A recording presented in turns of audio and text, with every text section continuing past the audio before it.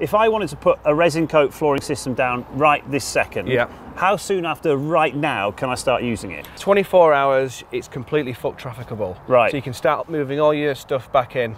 Okay, so 24 hours foot traffic, putting your stuff back in. Yeah. How long until I can go back in with forklift trucks and genie booms and Yeah, yeah, trucks and yeah. stuff? So, so a little bit longer. In obviously, it's very temperature dependent. So, Okay. in hot temperatures, you're looking at 16 hours complete cure time, Right. whereas in the cooler temperatures, you're looking at three days. Do you guys offer a system where there are companies that cannot wait that long? So I want it same day pretty much. Absolutely. So we've got rapid cure solutions that will go off within hours.